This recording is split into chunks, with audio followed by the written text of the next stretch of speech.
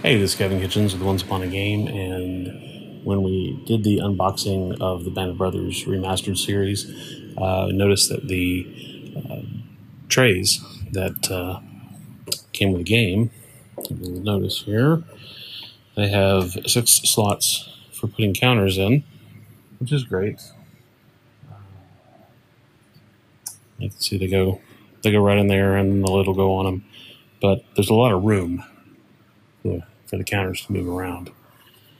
They also included, for some reason, these big wells. And I mentioned, I think, in the uh, one of the unboxings, I thought they were for cards, but I forgot the series didn't have cards. So what I've done is I've created a um, uh, insert to go into each of these to hold your counters. And now we're going to do the assembly the files are on BGG right now. Um, so let's just, I'll show you how to put one together. So assuming you've already downloaded the files and you've printed them out you scored them, you'll end up with several different pieces. And this is I'm just going to show you how to put this together real quick. So start here. This is the shell. This is going to be the main box that uh, everything builds up out of, and this is actually what's going to sit down inside your um, inside the wells that they have. So you'll make two of these. Uh, they print on three sheets of cardstock um, each. So you'll do two sets for each each game that you got. So you'll need six sets if you have all three games. So assuming you've already printed them out or printed them, cut them, scored them, I used my uh, Silhouette Cameo to uh, print mine out and to cut them, and I've got score lines here already. So we're just going to put this together. So the first thing I'm going to do is uh, fold everything um, inwards on the score lines. Work toward the into the box as you're uh, building it out. Show you. So you can't see my score lines because they're perforated, but once you got everything folded, little tab. So first thing I'm gonna do is glue this together. For a glue stick because it goes on, this one goes on purple and uh, you can see where it goes and then you, uh, it doesn't run, get all messy. So of course I don't want to knock it over here on the felt tabletop. So essentially you're gonna put glue on each of these tabs like that. And then you just want to glue them inside the uh, the adjoining flap, bring them together, and then just hold them for about 10 seconds. And do the same on all four of them. Usually do two opposing sides first because it makes them uh, makes it easier to work with. You can get the two sides done together. All right, so there's one side. And what's going to happen is these are going to glue on, and then these other flaps are going to go fold across them and give them some reinforcement. So glue that one on.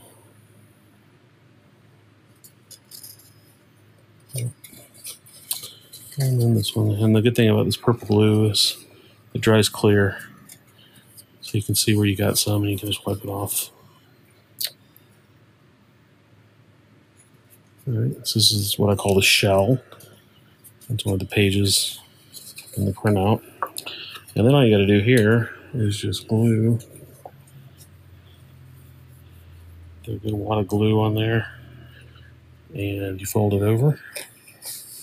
Now that's going to cover those tabs. So now they're reinforced on both sides. So essentially you kind of like glued them to both sides. I like to rub it across to kind of get the, all the glue settled in.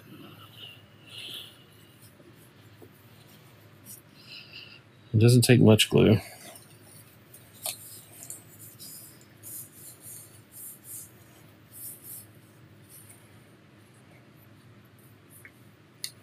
Same thing here. Once you've glued the side walls, the, the, the long sides, just fold over and glue the short sides. Get them in there. This is not going under a lot of stress or strain, so uh, you don't need a lot of glue to hold them. You don't want to tuck the corners down.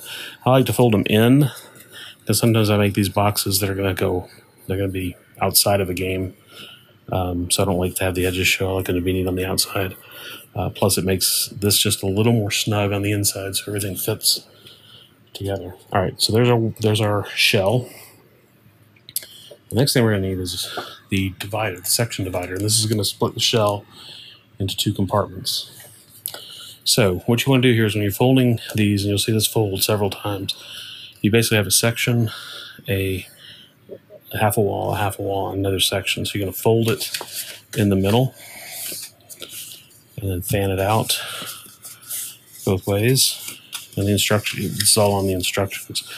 But essentially, you're going to create a peak like that. And then all you want to do is glue one side here. You want that peak to be glued together because you want it to be vertical. So you open it up and you just run it together until everything is glued. And you end up with two sections. Now, where the peak came up, I've got these tabs on either side. And what I like to do is you can see here, this is the this is the this wall, but then this comes off the other wall. I like to fold it across just to make it a little more snug. So then the other one you'll do the opposite way. So I have them on each side. And what these will do is when you put it in the box, like so, then you can glue it to the sides. Now, what you might want to do, if you want to, is just put a little bit of glue on the bottom. Not much, just enough to help it lay flat. Put that in. Make sure it's centered. Press that down. And then you want to take your glue stick, a little bit of glue here, and what I'm going to do is take the uh, game piece here and square it up and press it up against the wall. And you want this wall to be perpendicular in the box. So it's going to hold it to the side here. Make sure you get enough glue. Put your glue stick on there. Piece up. Get it nice and square. Hold it a few seconds. I didn't get this one well. I'm going to have to redo that one. Just a little bit of time here.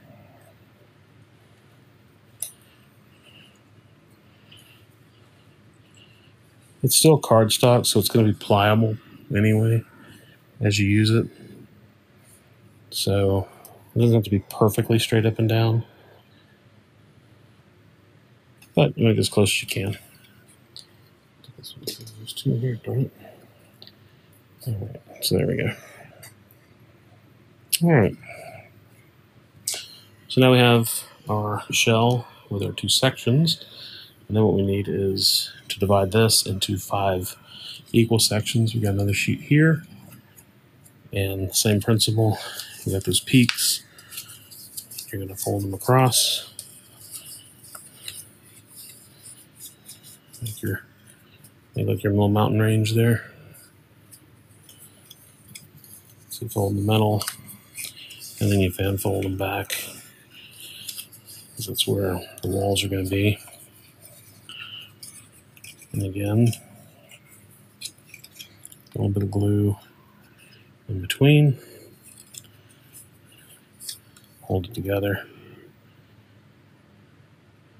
Just a few seconds, all it needs is paper on paper. You don't have to go all the way across. I mean, all the way across each each strip because it's going to hold itself and it's going to be wedged in there too. So it works out pretty good. I think I had most of the directions pretty self-explanatory in the uh, in the file, but you never know when someone's going to want to look at a uh, at a visual demonstration or need a visual demonstration. I know I do sometimes. So there's another set. There's four of those peaks. All right, and so you end up with a strip with four dividers, which makes five sections. And then same thing, fold the tabs across their respective walls. You've already scored these, follow the directions, and then the other side will go the opposite direction. The good thing about this is you're not going to probably have to glue any of this. Because what you can do is you'll insert it into the into the box like so. And then because you've got one going in each direction, the wall can't really move too much, especially when there's counters in there. But if you want to glue them down, you can. And you can glue down uh, the section divider into its into its uh, section as well. So I already made another one. If I were a bigger wig, I'd have, say, a production assistant had done it for me, like on cooking shows. But of course, that's not the case. So I did it earlier. Right. Same thing. Press it down as you're wedging all this in here together. It gets really, you know, it gets tighter, which is great. So now you've made 10 sections, which will hold counters, like so.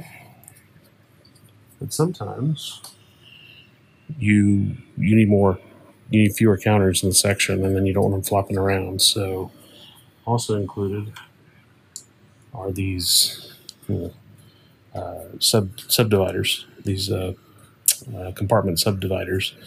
Same principle. You're gonna make one wall in the middle.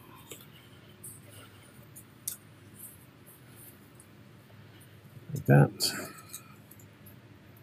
Bird flying. Okay. Glue it together.